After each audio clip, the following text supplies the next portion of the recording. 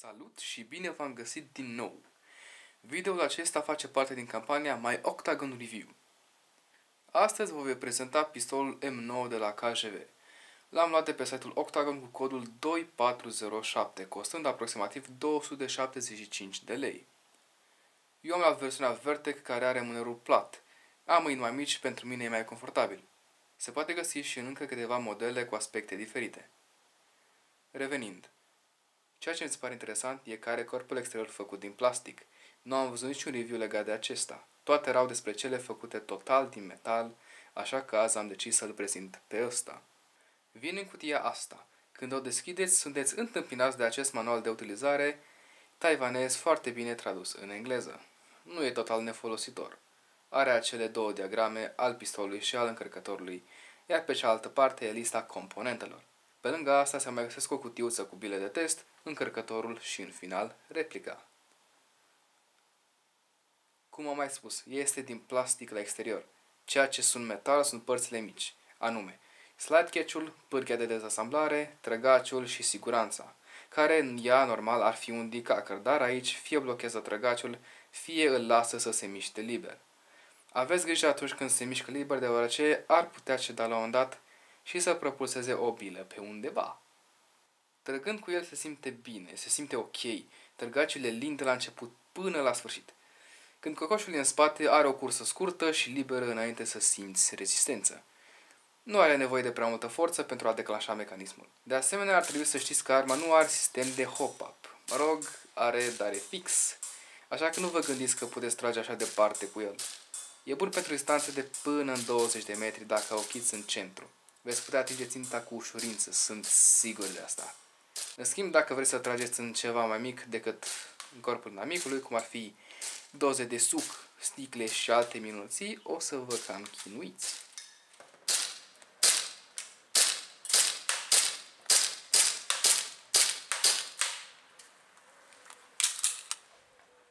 Să nu uit o mică observație. Odată ce încărcătorul e pus înăuntru, cocoșul nu se poate lăsa complet jos, deoarece brațul metalic care lovește valva de emisie a gazului se sprijină pe aceasta.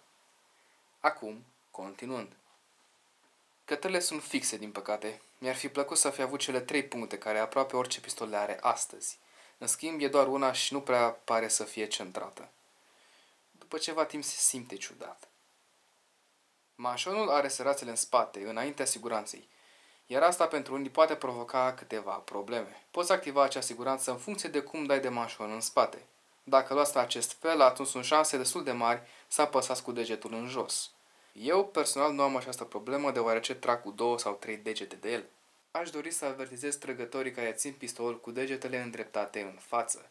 Dacă țineți așa, atunci puteți aplica presiune pe slide catch și vă veți întreba de ce pistolul trage în gol sau de ce nu rămâne mașinul în spate după ultima bilă. Dacă e ceva în frig afară, se poate să nu aibă destul de forță să o facă, dar de asemenea poate fi și eroare umană. Cel puțin la primul încărcător plin cu gaz ar trebui să rămână înapoi. Din acest motiv vă sugerez să țineți degetul mare puțin mai lateral pentru a evita problema ce poate apărea. Încărcătorul e din metal, inclusiv la bază, spre deosebire de replicele High Kappa și poate înmagazina 24 sau 25 de bile. Acesta este pe green gas, dar se pot folosi și pe CO2. Sugerez să utilizați doar green gas la această replică. CO2-ul poate fi prea puternic pentru un pistol cu mașon și țeavă exterioară din plastic. Pentru a nu umple cu gaz, luăm recipientul, îl scuturăm ușor și apoi apăsăm pe această mică valvă. Se aude cum se umple cu gaz. Durează câteva secunde. Ca să-l încărcăm cu bile avem două moduri. Ori pe sus cu mâna liberă, dacă nu aveți o chestiuță din aia de încărcare, al cărui nume nu îl știu, și doar că bile se pun în tubul ăla și apoi se apasă. Cealaltă variantă e să trageți de arc în jos și să le băgați cu speedloader-ul. Revenind la pistol, putem observa că în partea din față are o șină pentru un laser sau o lanternă. Pentru că ce altceva ai mai putea pune la acea parte, nu? Să aveți în vedere dacă doriți un accesoriu. Am observat că cele care nu sunt Vertec nu prezintă această șină și nici uneia dintre cele patru prezentate nu li se pot pune amortizoare.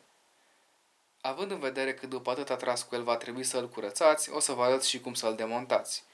Oarecum. Pe corpul replicii, în partea din dreapta, aveți un buton pe care îl apăsați. iar în partea din stânga se află pârghia asta mică, care se apasă în jos. După ce o apăsați, veți vedea că mașinul e puțin împins în față. Acum îl puteți lua și dezasampla mai departe pentru a-l curăța și lubrifia. Având în vedere mentenanța, trebuie să curățăm părțile unde există frecarea cea mai mare, adică în principal să curățăm șinele. Pentru asta pulverizăm cu ceva ulei siliconic, după care le ștergem cu o cârpă. O să vedeți murdăria când o veți face. După ce sunt curățate, ar trebui să ungem puțin cu vaselină siliconică șinele și să aplicăm încă un strat de ulei pe unde mai există frecare în straturi foarte mici, pe țeava externă, pe ghidajul recuperator și la ansamblul cocoșului. După ce vă terminați treaba cu el, sunt două moduri în care îl puteți pune înapoi. Una ar fi să-l trageți în spate, să-l blocați, să puneți înapoi părghia cum era înainte și să lăsați mașonul să revină la poziția inițială. Celălalt mod ar fi să-l aliniați pe șine cum trebuie și să trageți de mașon tare în spate. Pârghia va veni la loc singură. Aceasta bănuiesc că poate uza anumite componente în timp. Dumneavoastră decideți care metodă vă este mai comodă, mai ușoară sau mai corectă. Uitându-ne ultima dată la aspectul armei, se observă că e un produs KGV. Replica nu prezintă niciun marcaj oficial al armei reale, ceea ce poate face jucăria să pară cumva plictisitoare. Tot ce are este logo-ul firmei pus pe mâneri și atât. Cam asta am avut de zis despre acest pistol. Vă urez o zi bună în continuare și să aveți grijă de voi.